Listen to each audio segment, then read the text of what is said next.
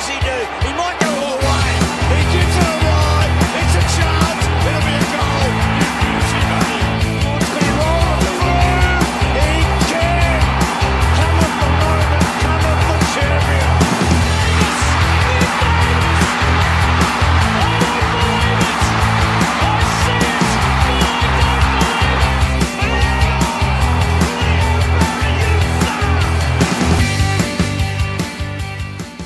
are listening to the Swans Blogs Swanscast, the number one Sydney Swans fans podcast. It's been five long years since we put the Hawks to the sword. You know, last time we did it in 2014, no matter, it was Franklin's hilarious two goal seven that proved the difference in the end.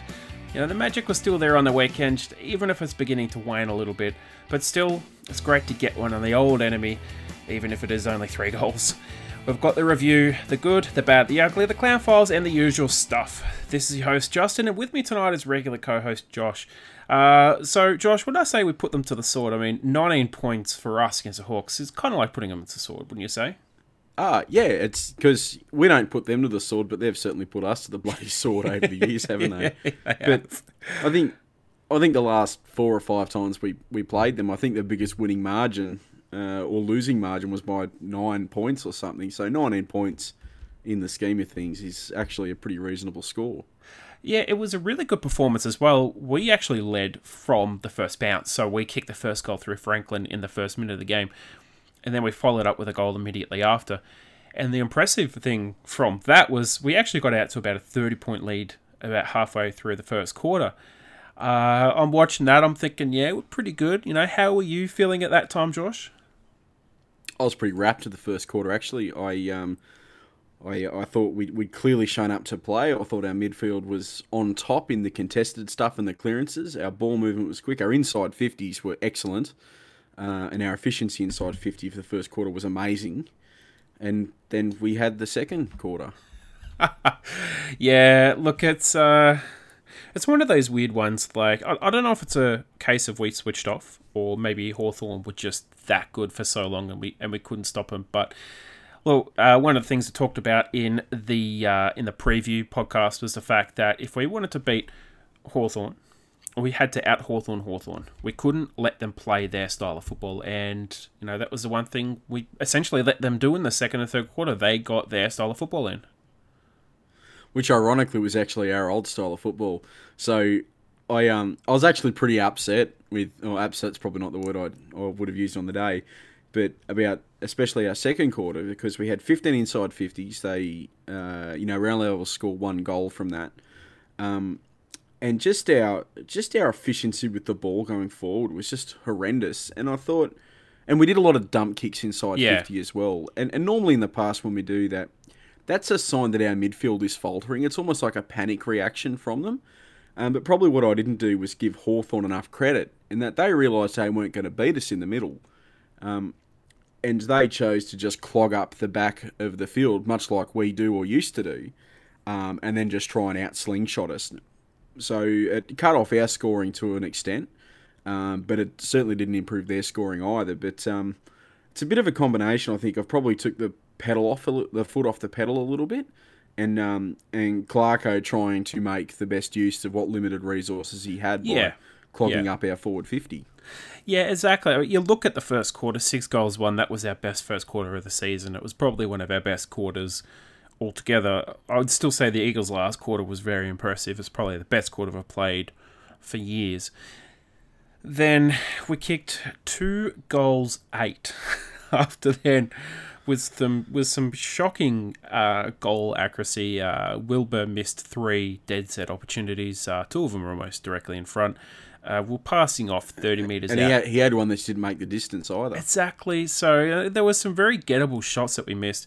Hawthorn, they kicked 3 2 in the second quarter, which they kicked almost all at the back end of that quarter, which it reflected the dominance in a way, but there were also kind of fluky goals out the back. But even though we didn't really score much in the third quarter, 1 5, they kicked 1 4. So we still outscored them anyway.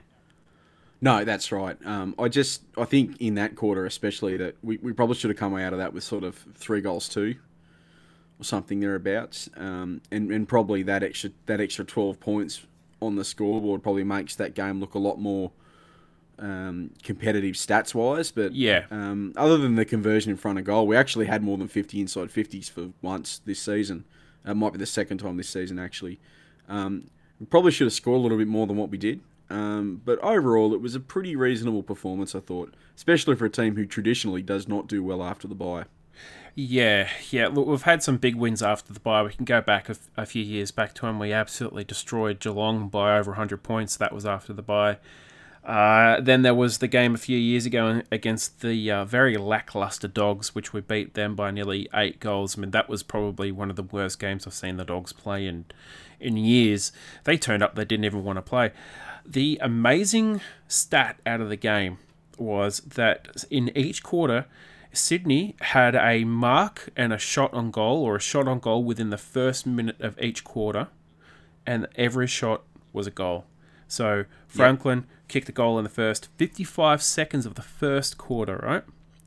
Uh, just quickly going through the stats, uh, he kicked the first goal of the second quarter, one minute 20 in.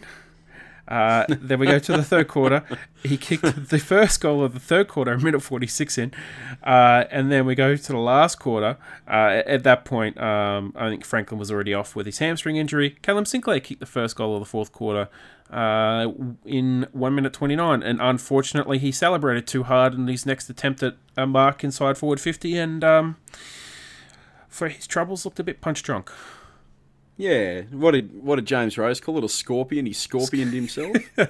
I thought he was That's trying what to. he said in that interview. I thought he was trying to uh, burrow his way through to uh, Moore Park with his head. He's uh, he he did a fair dive effort there, but uh, Yeah, look, he did. I like. he's I do like the way he threw. I do like the way he threw Jake Lloyd under the bus in his post game interview with Hamish McLachlan as well. I thought that was pretty good. yeah, he called him Richo, and uh, the player was shocked, and um, Hamish was just like, "Whoa!" And he's like, "No, no, no, I'm kidding, I'm kidding, I'm kidding." it's, Yeah, it's Papley right, Hammer. freaked out, and oh, it was absolute crack up. But the good news is uh, Sinclair's okay. Concussion, okay. Expected to play this week. Uh, Franklin hamstring three to four weeks on the same leg he had before. So uh, four weeks is the most likely outcome, which means he's potentially coming back for round 18, which would put him in line, I believe, for Fremantle. Or round 19, which I think is probably a more realistic one, which is the Geelong Cats. And then after that, we have the Giants, uh, Power, uh, Melbourne, and then to finish the season with St Kilda. Cats and Giants are home games too, aren't they? Uh, let me just quickly check. Yeah, the Cats one is definitely a No. home game, and the Giants one is in Sydney. It's at their ground, Yep. but I mean it's Sydney, so Yeah, this will be more. It's it's a home game. yeah. Spotless Stadium's a home game. There'll be there'll be twenty thousand people there, and like seventeen thousand are going to be Sydney Swans fans. So Probably. Uh, and the other good news that came out is that uh, Cunningham's setback isn't too bad. Uh, not as bad as expected, so he's uh, could be available for training. Well, he's available for training this week. Could be available. Very outside chance of selection this week, but is expected to be selected next week, given he gets through training okay over the next two weeks. yeah, it sounds like it was just a case of general soreness and not actually a new tear. Yep. Um, so that's always good. Um, and was there something about Darcy Cameron in that injury report as well? He's done a calf muscle or something at training. Yes. So he did a calf muscle uh, about five weeks back, five six weeks back. Yep. and uh, he was actually taken off the uh, ground. I think that was against Sydney Uni.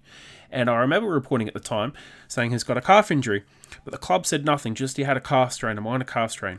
And uh, I kind of got laughed at because I said, oh, he's probably going to be out for four to six weeks because that's a normal calf strain, right? Four to six weeks is pretty much standard. Then he played after the bye, and I was a bit like, okay, how could he have a calf strain and play? Well, it turns out he's got a calf strain, a proper calf strain. So he's out for four to six. Mm. So that's what happens when you play an injured player. That is what happens when you play an injured player. Yes, That's right. exactly. Uh, as you could probably tell, we're already talking about the review, so the agenda was obviously the players and the game. Let's just kick on and keep on going with the uh, review, Josh. I'm trying to make this one a, uh, a reasonably quick episode tonight because uh, unfortunately it's quite late recording. Uh, do you want to kick us off with some um, stats from the game? Yeah, absolutely. Um, our, our stats this week were actually actually pretty good. There are not many stats we were actually in the negative in. So um, we were up by 43 disposals uh, against the Hawkers, plus five clearances, plus three centre clearances, uh, plus two stoppages, plus nine inside 50s. Uh, it was 52 to 43 our way. Uh, so over our average, another five over our average, uh, plus seven contested. And I think that was um, two centre clearance and the rest were stoppages. Uh, we were up 11 tackles even though we controlled most of the ball. And um, despite the fact, despite the fact we said last, well, I said last week that Sinkers was going to get demolished by Big Boy McEvoy and Ceglar, um, we were only out or down by eight hitouts. So that'll be, uh, I can't remember what our total was, but Sinclair had 20. I think Reid had 10 and Aliir Aliir chimed in in the in the fourth quarter for another three, I think it was. Um, Yeah. So to only end up eight hitouts down against Ceglar and McEvoy is probably a pretty good effort, I'd imagine. It's a really good effort, and well, obviously Ceglar um, kicked the goal, uh, and that was a good lead, and it was an amazing inside fifty from Hawthorn to nail him right in the pocket. It was that's the kind of play that they used to do years ago that they could destroy teams Yeah. with.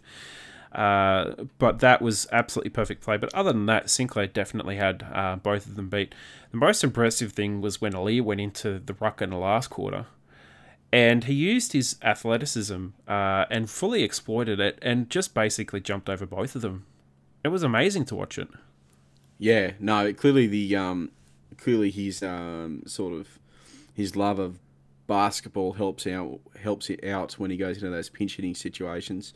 Um, just with Sinclair too, that that he we also said last week that that he was probably not going to be able to win the hit out situation, um, but that he would have to beat McEvoy and Ceglar around the ground, and I would say that he comfortably was Oh yeah, the better ruckman, all things considered. Um, I think he won four of his own clearances at one stage.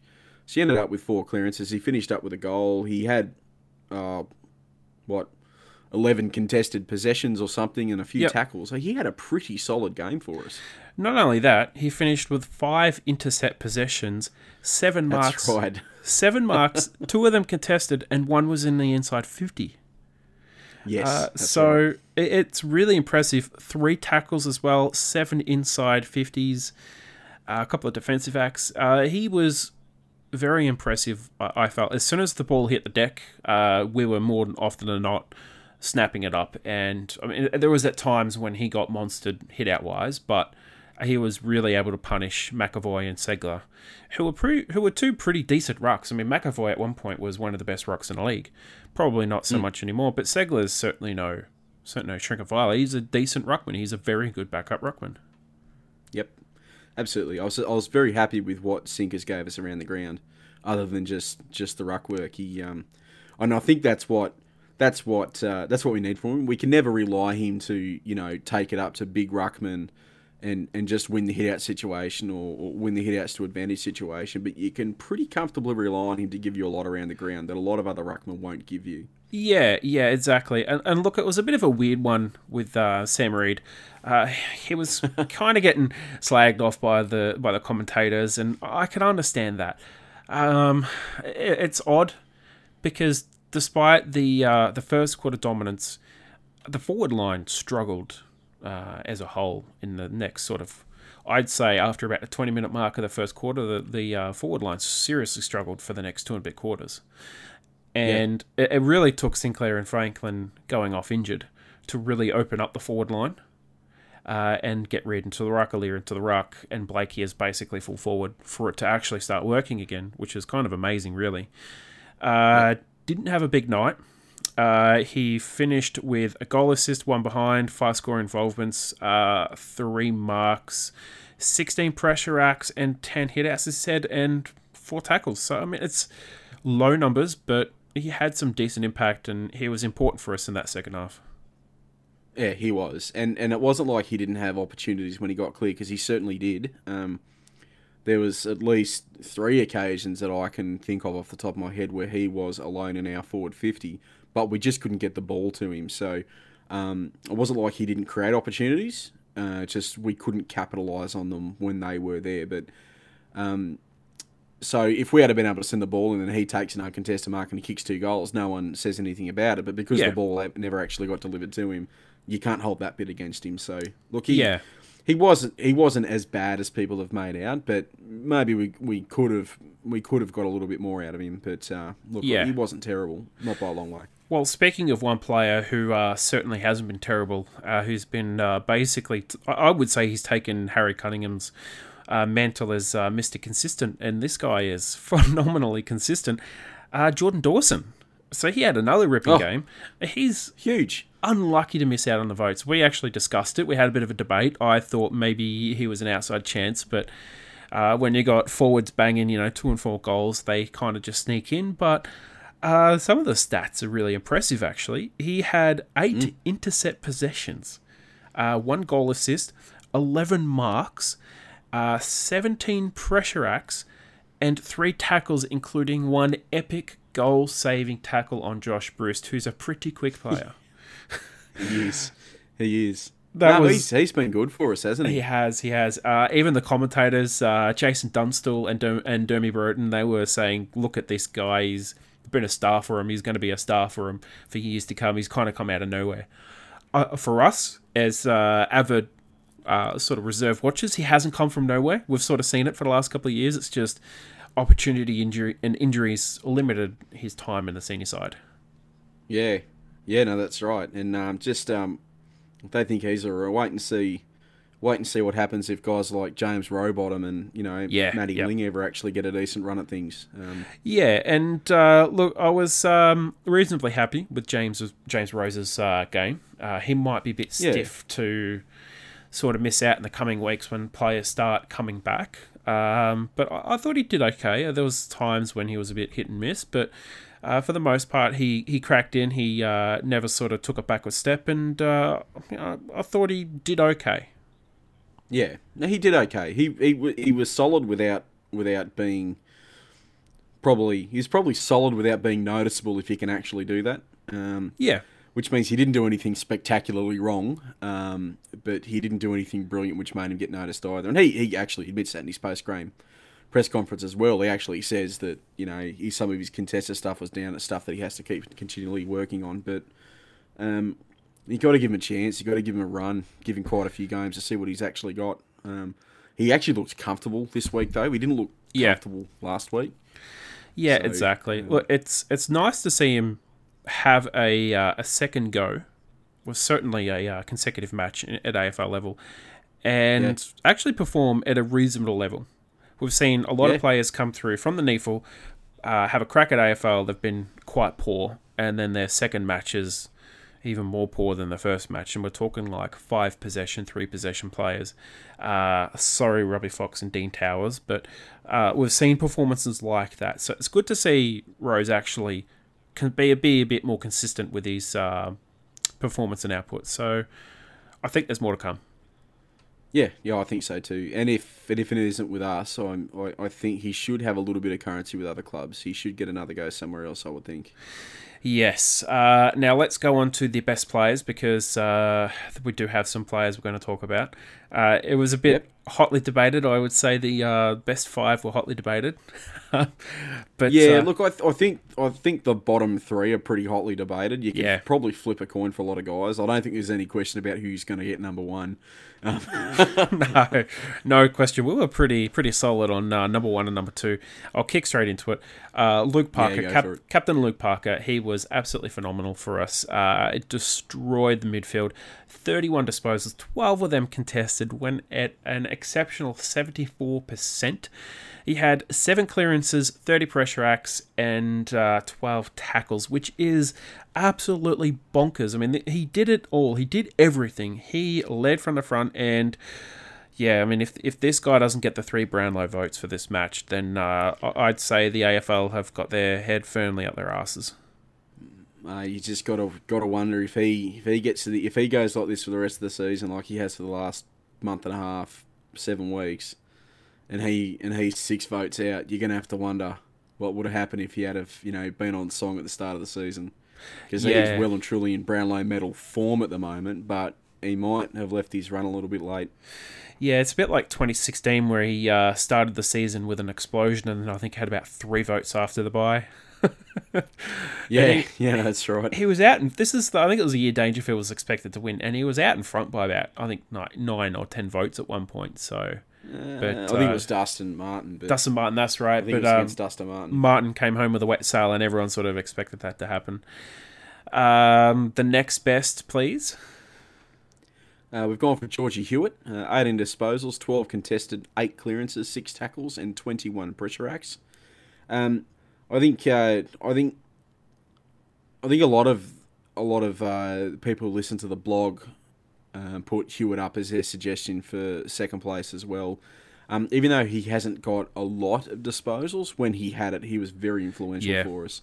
And and I think you could, well, I know you can make the argument that um, that if he's not there doing what he does, Parker doesn't have that game. And even though Heeney got the ball more often, I think George was better with it when he had it. So um, Georgie Hewett gets our our four votes. Yeah, his impact on the game, uh, it, it can't be, can't really be spoken highly enough. Uh, he had a big impact in that last quarter as well, and a massive impact in the first quarter. So the the quarters we really dominated in, his his impact was absolutely phenomenal. Uh, we've already spoken about him, but uh, coming in with three votes is Callum Sinclair. He's 17 disposal, 20 hit out, 11 contested possessions, four clearances, and a goal, and uh, one head burrow slash scorpion. Uh, one hilarious post-match interview. Um, some absolutely hilarious antics on the bench. Um, when he when he realized that he can't go back on. Um, when he also realized he was concussed because he didn't remember what happened. um, so, yeah, look, he uh, he comes in with our three votes. He did a uh, stand-up job against two good ruckmen. Yep. Uh, t- uh, fourth with two votes is uh, the one and only Lance Franklin. Uh, look, he only touched the ball five times, but you know he had four goals for five touches. uh, was on fire.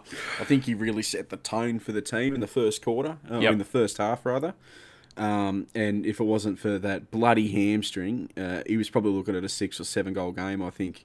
Uh, Yeah. especially when the game started to open out in the last quarter. Um, but uh, I don't think you can, uh, and even though he didn't play out the whole game, I don't think you can underestimate just how much impact he had on the psyche of the team. I don't think so. We've given Lance two two votes for his whopping, uh, whoppingly efficient game. Well, Hawthorn had no answer. Whenever the ball went near him, he was a force, and they couldn't really stop him. Uh, it, the uh, thing around that um, hamstring hamstring injury was the fact that he was on the bench for about nine nine or so minutes, and uh, he was standing around for about six minutes. So he came on basically cold. So he'd warmed down. It, it does make you wonder whether or not his hamstring could have actually um, withstood the, uh, requirements in the second half. Anyway, certainly the physical toll. Uh, but yeah, look, that that is as efficient as a game I've seen him play to kick four goals straight from four kicks. Is Mm. Yeah, uh, good. quite ridiculous. Um, Yeah. And coming But what in, a shame too. He was just is. starting to show his fitness again as well, and, and he goes back out again. It's a, it's a bit of a bastard. Um, let's hope it's not the start of the old man injuries. No, no, no, no. Uh, unfortunately, he's pinged this hamstring three times, I think, in the last two or three years. So it, it's not good. It's um not quite Cyril Rioli, Lewis Melican esque, where there's genuine concern about his legs. But um, yeah, we want to see him getting fit and recovering properly. Um, and look, he only had 40 AFL fantasy points, but I I think he had one of the biggest impacts in the game. So uh, he was lighting it up for sure. Uh, Smashing it. smashing it. The last person, uh, and this was debated hotly because there were a bunch of players uh, up for grabs. We were talking about Aliir Aliir, uh, Jordan Dawson, but I mean, it had to be Tom Papley comes in in fifth place with one vote. 12 disposals, 3 of them contested, 4 tackles, 18 pressure acts. Uh, but the impact he had on the game in the first half, especially the first quarter, was telling, and he was one of the reasons why the Swans were so far out in front to begin with, Josh. Absolutely. And do do you know what I really like about his game at the moment? People genuinely panic when he's around now. Yeah. When he gets in the forward line, defenders actually they actually they actually start making mistakes around him now. And and if and if you're a forward and people people get nervous when you're around, that's a bloody good thing. And and I don't think people get that nervous about Franklin anymore, but they get a little bit nervous about Papley these days, and I think that's Yeah. a bloody handy asset to have. Yeah, it really is. He's um, very, very quick uh, around goals. He's quite small, but he's very strong, and his tackling is absolutely amazing. Uh, but I think his height allows him to avoid some of those tackles. So he's actually he looks like a very difficult to tackle player. Um, I guess in a way that Like about his game at the moment. People genuinely panic when he's around now. yeah, When he gets in the forward line, defenders actually they actually they actually start making mistakes around him now. And, and if and if you're a forward and people people get nervous when you're around, that's a bloody good thing. And and I don't think people get that nervous about Franklin anymore, but they get a little bit nervous about Papley these days. And I think that's Yeah. a bloody handy asset to have. Yeah, it really is. He's um, very, very quick uh, around goals. He's quite small, but he's very strong, and his tackling is absolutely amazing. Uh, but I think his height allows him to avoid some of those tackles. So he's actually he looks like a very difficult to tackle player. Um, I guess in a way that Gary Ablett was.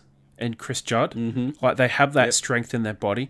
Even Scott Pendlebury, uh, Dangerfield to an extent. Dangerfield's mostly because of his explosive pace, but those players have immense strength through their hips and core that makes it almost impossible to tackle them. And, and Papley's got that in him. So, yeah, he is very Yep. impressive.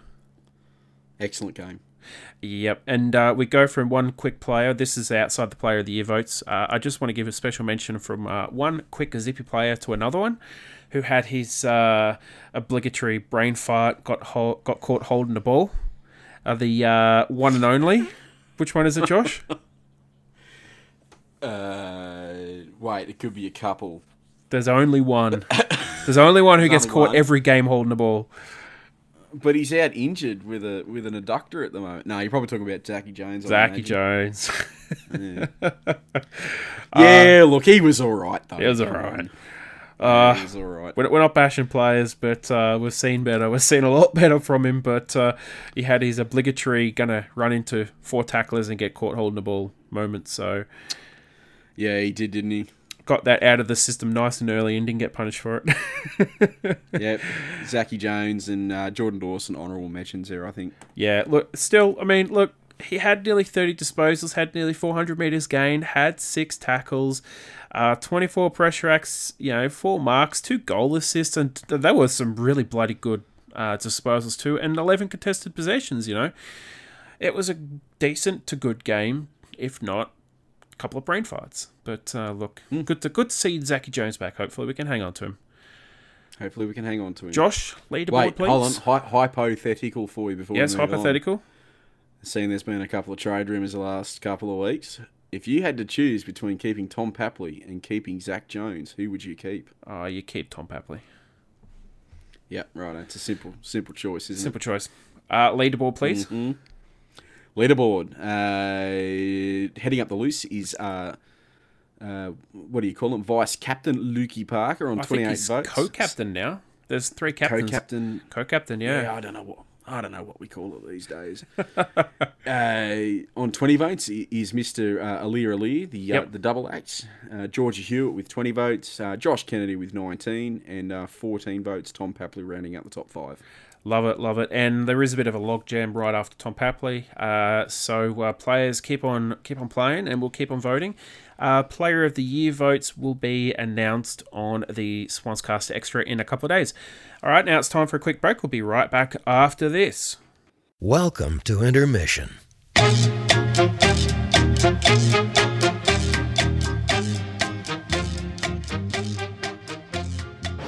Didn't know you were concussed, did you, come? Thanks, Richo. Uh, I'm joking.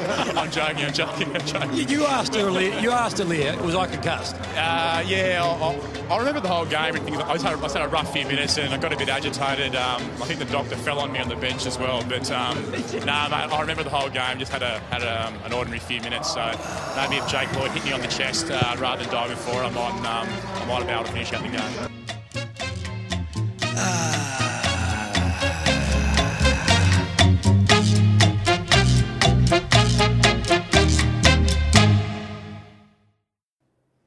And we are back. Okay, time to kick on with our champions and villains. Now, we normally do this Sunday, but it is Tuesday, so it's not the Sunday champion. It's not the Monday champion. It is, in fact, the. Uh, we're just going to call it the champion. Too many days have In passed. four more minutes, it's going to be Wednesday. It's going to be the Wednesday champion. Um, as I said, too many days. I just call it a champion. Um, my champion can only be uh, Nick Flaky Lizard Blakey. Um, man, this, this guy's got too many nicknames that are just funny and derogatory. But uh, look, Mr. Blakey, he was superb for us in the last quarter, and he was another one who was in that debate for votes. You know, it was about five or six players right at the tail end who could get votes, but his two goals in the last quarter when Franklin and Sinclair was off was absolutely fantastic, and it really allowed Reid and uh, Lee to go into the ruck and play different roles for us that got them into the game as well. So um, he's my Monday, Tuesday, midweek champion. And well deserved too. And uh, and this week's uh, Rising Star nominee as well. Absolutely. Uh, your champion, please, Josh.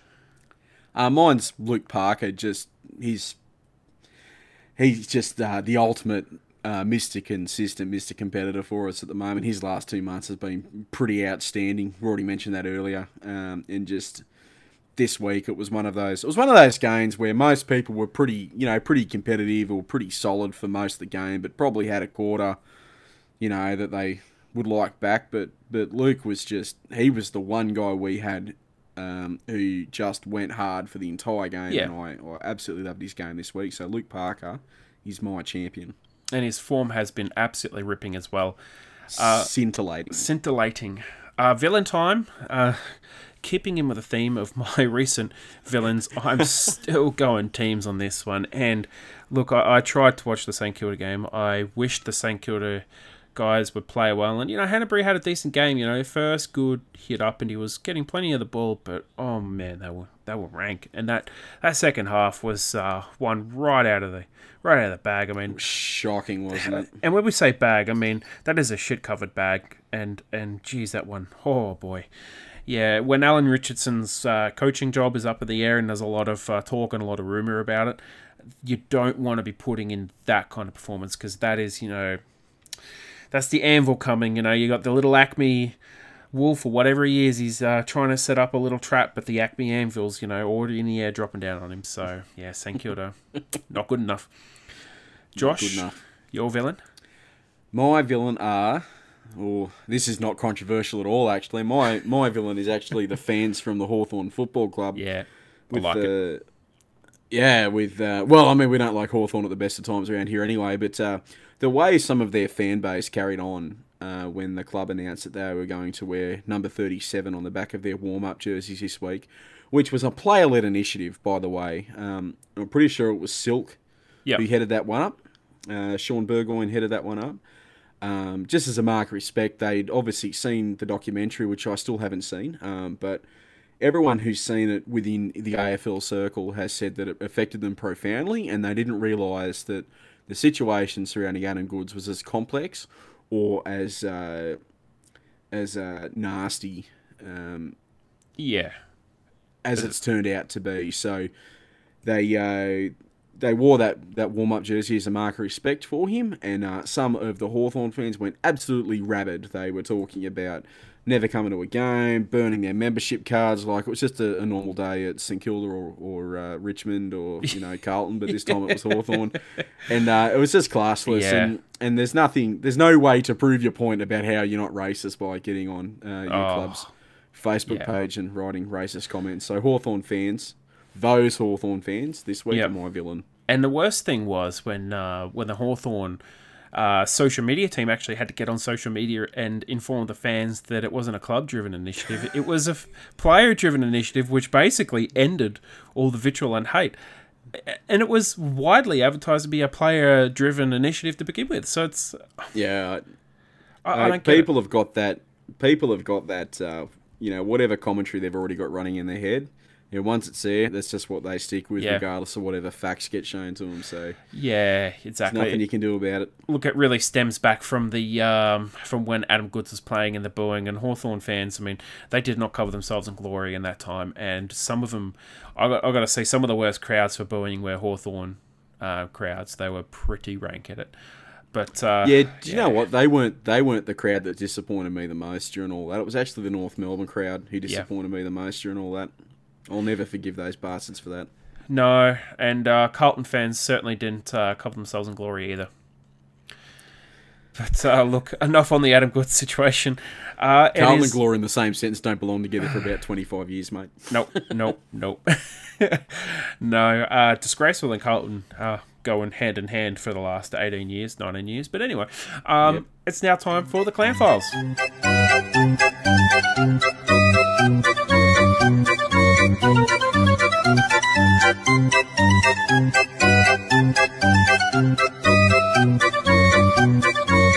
Okay, so let's kick things off. Uh, the first nomination, Josh, is Callum Sinclair. Uh, uh, it's um, it's not a laugh at the fact he got injured, but uh, I mean the theatre around his injury. I mean it was a pretty big injury. Um, it, it was a kind of an almost dangerous injury, but it was funny in the way that it happened. But that wasn't the. That's not why we're clowning him. We're clowning him for his post-match interview, the theatre on the bench with Aliir Aliir, uh, the tanty throwing, and then all of a sudden the realization is concussed, and then he's like, "Oh, okay, then. Well, yeah, okay, yeah, I'm just gonna have to, Yeah, that's right. gonna have to sit on the James- bench." James Rose referring to it as a scorpion after the game. Um, yep. uh, him Sinkers throwing uh, Jake Lloyd under the bus, saying that oh, if you had hit me on the on the chest with the ball, I wouldn't have had to you know dive down for it, and I would have knocked myself out. Just there's a little bit of Keystone Cops around it, wasn't it? It was a, if you add it all together, it actually becomes kind of funny. But uh, so it's not haha he got injured. It's like the stuff Yep. that went along afterwards was pretty amusing. So it's pretty good. I liked it. Yep. Um, look, uh, the second nomination, please. Brian Taylor uh, l- legitimately made a funny statement during the call of the game, and I'm I would be surprised if I'm the only idiot on the planet who laughed at this. Oh, I laughed at But uh, at one stage, Shaun Burgoyne tackled Nick Blakey, and uh, Brian Taylor quips that. Uh, you know, it won't be very often he's tackled by a guy who played more games than his dad.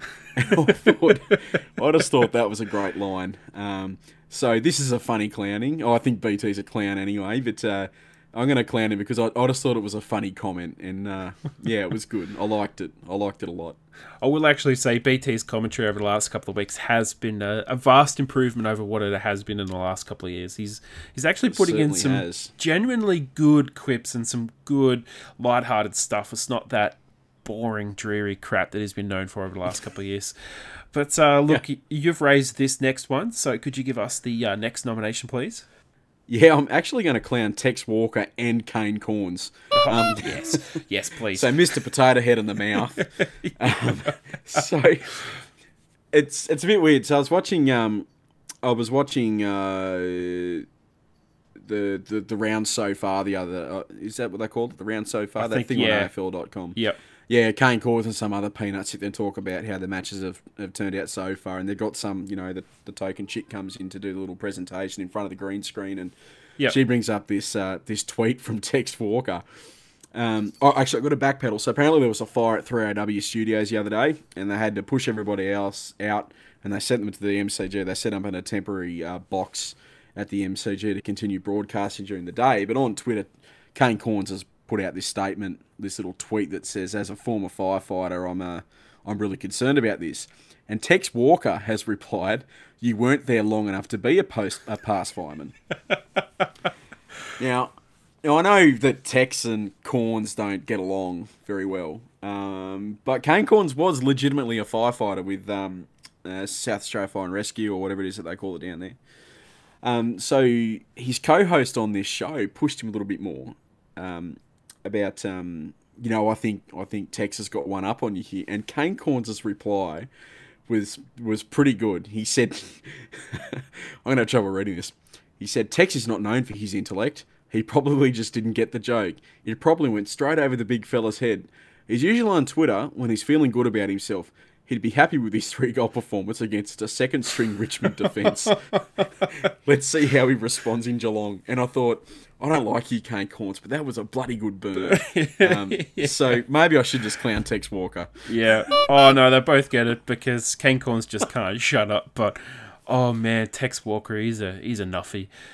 Nearly Well, everything he it- says needs to go on that nuffy on AFL pages. Oh God! I put a thing on. I put a thing on, on um, just a comment on the AFL's Facebook page that said, "I don't know what's worse, Kane Cornes talking or Kane Cornes being right." And yeah. fair to say, there was no negative reactions to that. So No, anyway, no, uh, exactly.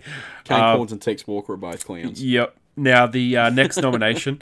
Uh, this has been a bit of a uh, simmering issue, but uh, look, uh, it, it's uh, it's not a single entity clowning on this one. It is the uh, clowning of uh, stadium management and the AFL together. Uh, this is obviously being with the uh, the guy who got kicked out of um, uh, Marvel Stadium for calling Matthew Nicholls what he rightfully should have been called a bald-headed flog, which literally every single football fan in Australia has called him a bald-headed flog. I'm nearly bald, and I call him a bald-headed flog. And um, one of the great Fox footy shows uh, on Saturday night, I can't remember what it's called. It was after the um, after the Sydney match.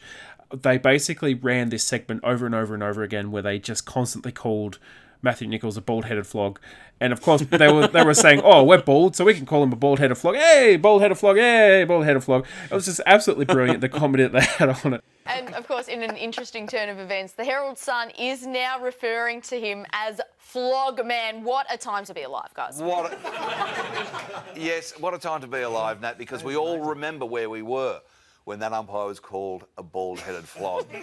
I mean, it sounds like a dodgy uh, superhero, doesn't it? Flog man. Does it? But I have got one question for you, Dave. What is his special powers?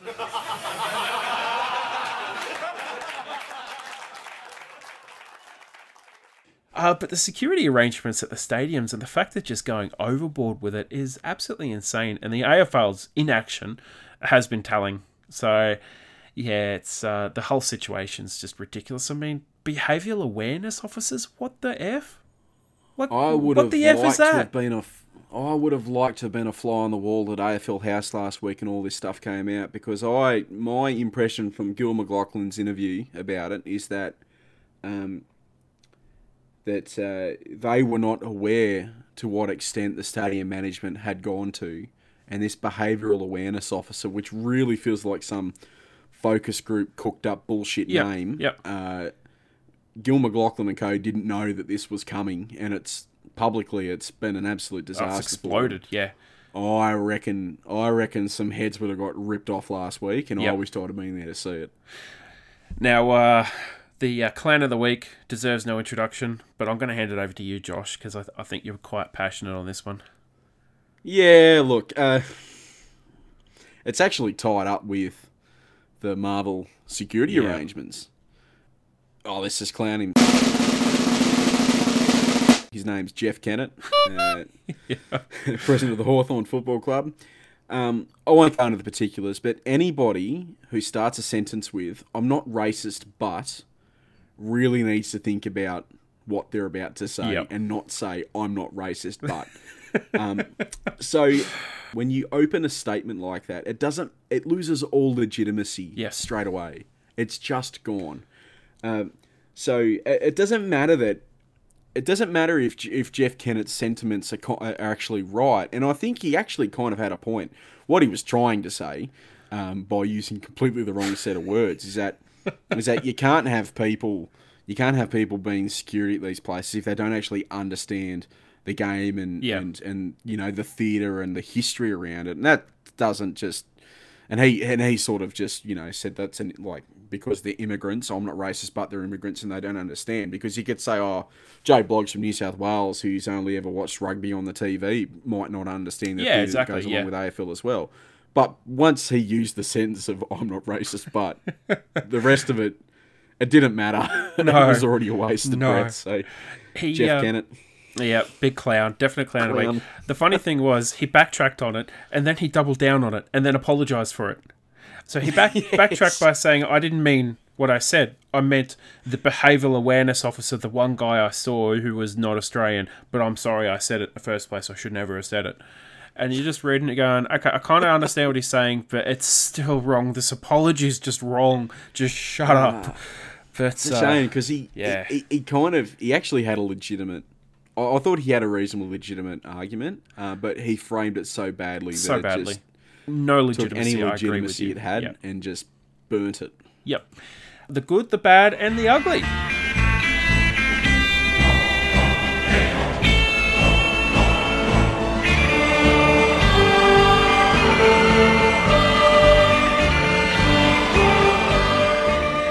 All right, I'm going to kick things off here, Josh, with the good. Uh, my good. It is uh, another sport. Actually, all my all my ones here are other sports, but the good. Oh, she's back. The good for me is Ash Barty. She is the new tennis women's number one, and she's the first Australian woman since Evonne Goolagong Cawley in April 26, 1976. That's 43 years. So she played really good tennis. Uh, she's in the run up to uh, Wimbledon now. She's played some exceptional tennis. She won the French Open. She played good tennis early in the year at the Australian Open. She is in red hot form, and she's one of the favourites to win Wimbledon. And she's um, taken over from uh, Osaka, who has basically fallen in a heap ever since she fired her coach at the start of the year.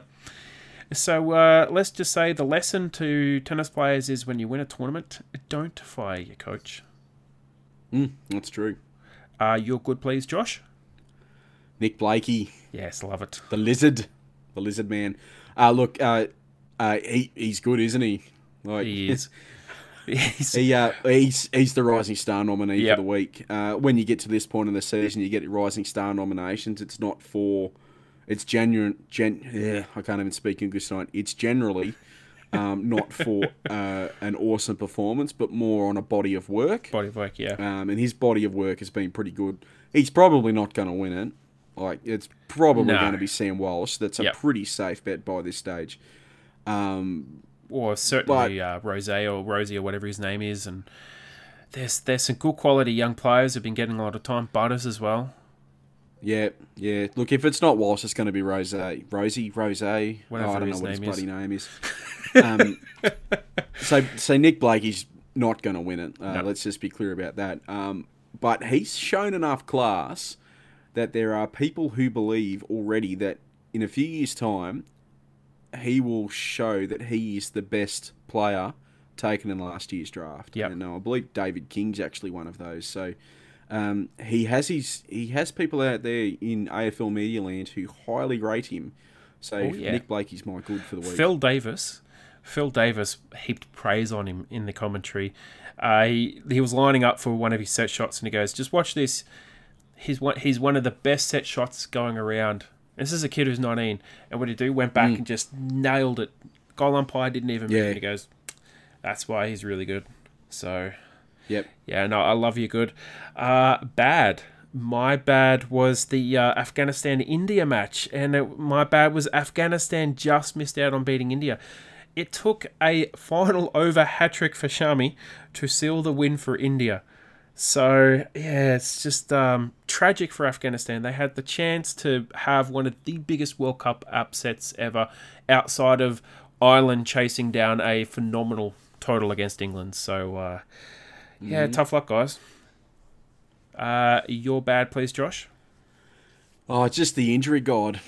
Yes. Uh, damn him, damn him to hell. Uh, look, season was just starting to get back on track, um, just more. and uh, yeah, and we're just picking up more the McVeigh thing, now the Franklin thing. Yep. Um, you know, the Harry Cunningham setback. They're just all these little bloody things that we don't need at the moment. Nick Smith is um, gone for the season. Sam Naismith is gone for the season.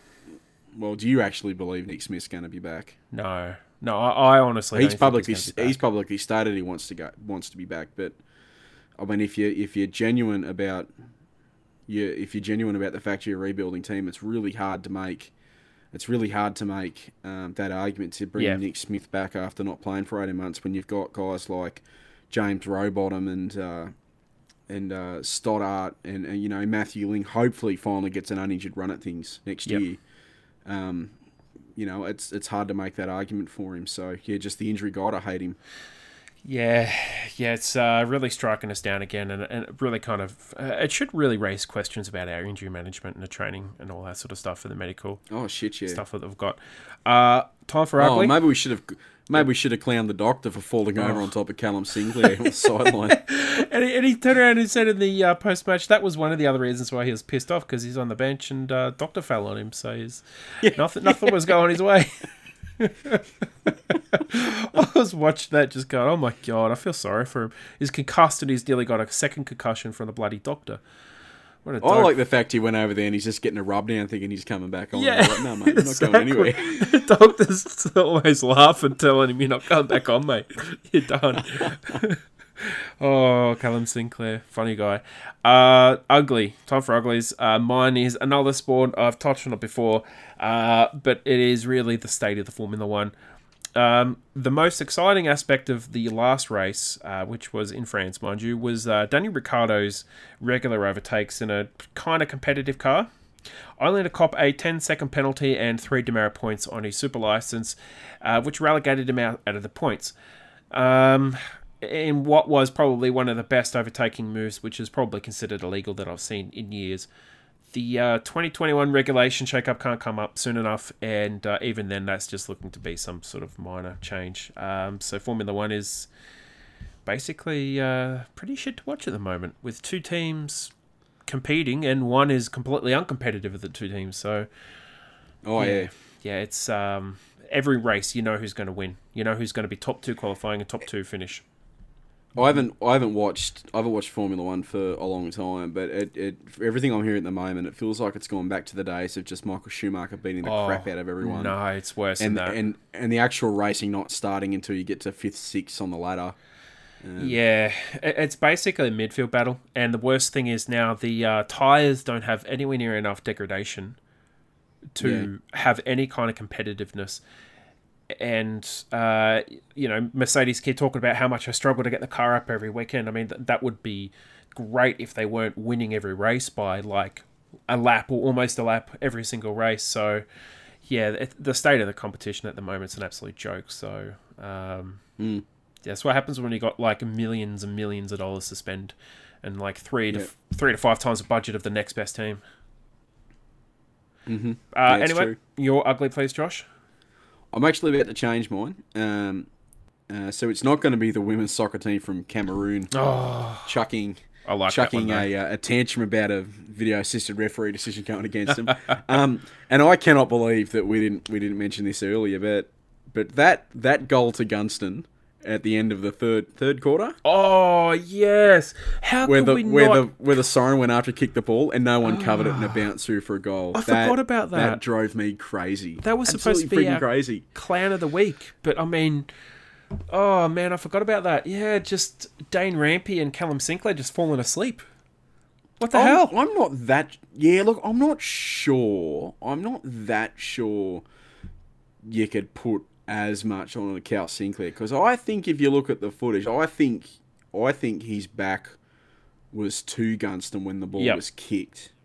Um, but but Ramps should know better, and yeah, I just it's not an ugly moment. Uh, I'm just bringing it up now because I realise we haven't mentioned it yet. Yeah, but I forgot Holy shit! Holy shit! It should have been in the clown file Oh, yeah, somewhere. It- yeah. I hate having a clown rampy, but jeez, dude. He's not having a good. He's not having a good season. Thinks because he's making He's way too many blues. So well, he's actually having an outstanding season with some really dumb shit thrown dumb in. shit. And, Yep. And uh, it hurts me because I love the guy so much, you know. But gosh, that was hard to watch. Watching Oh, that yeah. ball come down, you're like, please break to the right. nah, I went left and went through. Oh my god. Oh, I know, right? Uh, just to close things off, uh, we're going to wrap up. But uh, England are currently 35 for 3, chasing 286 to win. Uh, as it stands, Ooh. Vince out, two balls in. Uh, Joe Root is out, was out for 8 off 9, and uh, Eoin Morgan was out for 4 off 7. So they're, uh, they're a good chance to win Australia. Uh, surprising wins after collapsing themselves. So How many of those wickets did Mitchell Starc take? Two wickets to Starc and one to uh, Behrendorff. Starc is the only way they're going to win this match after that batting collapse they had earlier tonight. That was disgusting. Yep. Yeah, I agree. But uh, look, yeah, they're a good chance to win now, which would be nice. Uh, Josh, Excellent. thank you so much for coming on. Appreciate you coming on again. Thank, thank you. Have a happy Wednesday, seeing it's, it's now 20 past midnight.